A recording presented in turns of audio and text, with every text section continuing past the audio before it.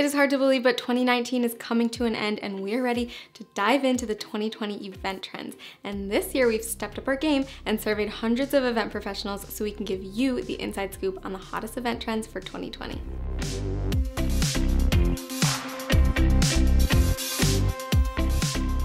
First up is personalization for attendees. So personalization allows for each attendee to get exactly what they need. And one way you can do this is having tailored breakout session paths. Inbound is an example of an event that does this really well. So attendees can filter the hundreds of sessions by path in order to narrow their focus. And this way they can tailor their schedule to the experience that they want to have. Another way to achieve personalization is to send custom content and resources. So if an attendee downloads an ebook and watches a video on the same topic, you can then send them content relating to that topic, which creates a custom experience. Another trend we're anticipating seeing more of is a continued focus on sustainability. So we have talked about sustainability a lot in the past, but we will continue to do so because it's so important. We anticipate seeing more bans on single-use plastic, a greater focus on plant-based catering, and even the use of recycled materials for event design. Sadly, another trend we'll be seeing is the increased need for event security. Unfortunately, this is just something that's necessary and it starts with crisis communication.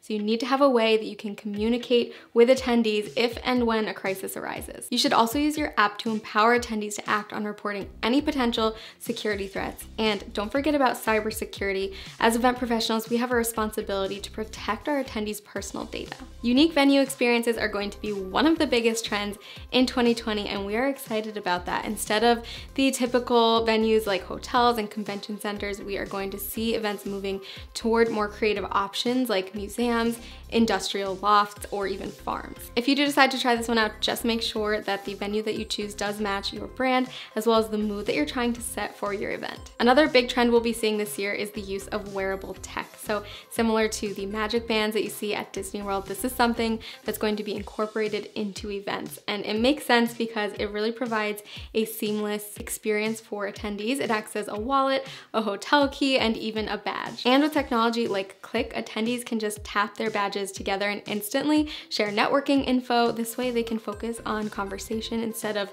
having to pass their information back and forth. I've only mentioned half of the biggest event trends for 2020, so if you wanna know the rest of them, make sure you read our blog post where you'll get more information on the ones that I mentioned today, as well as learn about the rest. And before you go, don't forget to subscribe to our channel if you want more event planning tips, let us know in the comments below which trend you're most excited about this year and which ones you plan to incorporate into your events. Thank you so much for watching and I'll see you next time.